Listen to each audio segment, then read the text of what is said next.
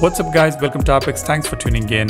Today we have got a huge update for GoodLock application and some of the modules on GoodLock. Now most of these changes are minor on all these modules, but for HomeUp module there is a major update which offers some added new features, which I'll come to it in a bit.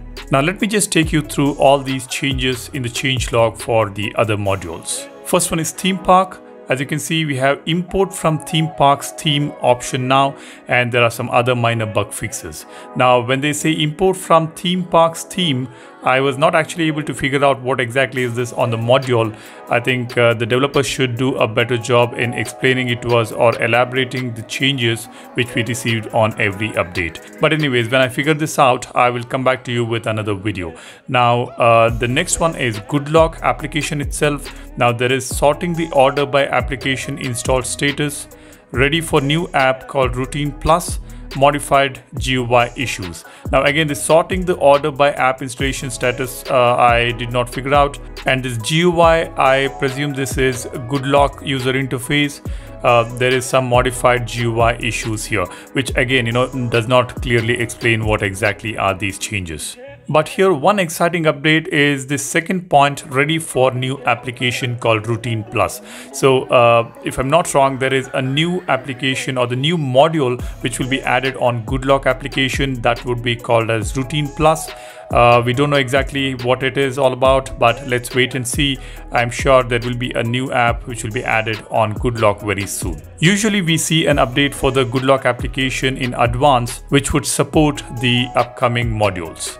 Now the next one is NotiStar. We have got show the alert message when the lock screen hide content setting is turned on. So there will be an alert message shown even when the hide content setting is turned on on your phone. Then there is fixed database searching issue with special characters and fixed other minor bugs as well. Now coming to the ClockFace, the changelog talks about update GIF image resource, update angle correction logic when editing customized items. These are some changes which again I would like to explore and figure out what exactly they are. I will perhaps make another video and come back to you guys with all these new features. Alright, now the most exciting update is on HomeUp application or HomeUp module on GoodLock app. Now as you can see here, added two kinds of layout, vertical list, slim list, support mini mode only for list, grid, stack list type, add circular list mode only for vertical list, slim list, provide quick launch of split screen on recent app. So these are the four new features which have been added on HomeUp module. Now all these new features are specifically for task changer feature on HomeUp module. Okay then let's go ahead and take a look at all of them. Let me open GoodLock app and let's open HomeUp module. Let's go to task changer as you can see here, we have got layout types. There were only three before. Now we have got vertical list and slim list. Let's apply vertical list. This is how it is. Now let's apply slim list. This is how it looks like. In fact, these two layout types were available in the previous version of One UI uh, before we got One UI 3.1 or perhaps One UI 3.0. I'm not very sure. I don't remember exactly. But these two layout types were already available before. And uh, after the latest update, after One UI 3.1 or One UI 3.0, only three layout types were supported. List, grid, and stack were supported.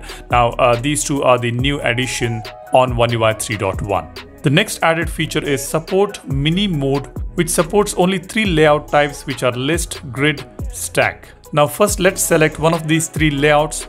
Let me just select list. Now we can see an option here called mini mode. When we enable this and when we swipe up to see the recently used applications, you can see this layout is in mini mode. All the recently used applications are in small window at the bottom which makes the one-handed operation easier. You can easily use your thumb to slide them around and select them. This is a very thoughtfully designed feature on this module now. Remember this works only on three layout types, list, grid and stack. Now the next exciting added new feature is circular list mode. Again, this is applicable only for two layout types, vertical list and slim list, which are the newly added layout types. So to see that toggle or the option in this module, first we will have to select the supported layout type. So let me just select vertical list here. Now you can see we have got an all new toggle here called circular list. Now let's enable this. When I swipe up to go to the recently used apps, we can see the vertical list view which has got this circular motion. Looks kind of cool, isn't it? It is more of a visual change, but it is definitely welcome. It looks fantastic. Now let me select slim list. This is how the slim list looks when we enable the circular list mode.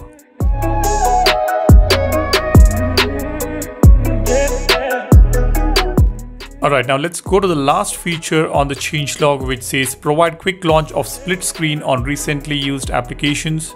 In fact, this feature arrived in the last update itself. I did make a video about the new update for HomeUp module. So in that video, I have shown how exactly this feature works. When we swipe up and open recent apps, you will be able to see a grid icon here.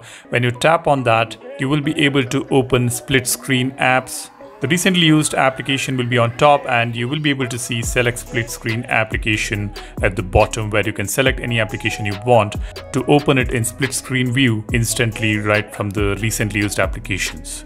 Apart from these new features mentioned in the changelog, uh, we can also see a toggle here called recommended apps which shows the recommended apps on recent app screen but I could not figure out how exactly it's going to show. I have already enabled this toggle and when I go to recent app screen I don't see any recommended apps here. If you guys are able to figure this feature out, do let me know in the comment section below.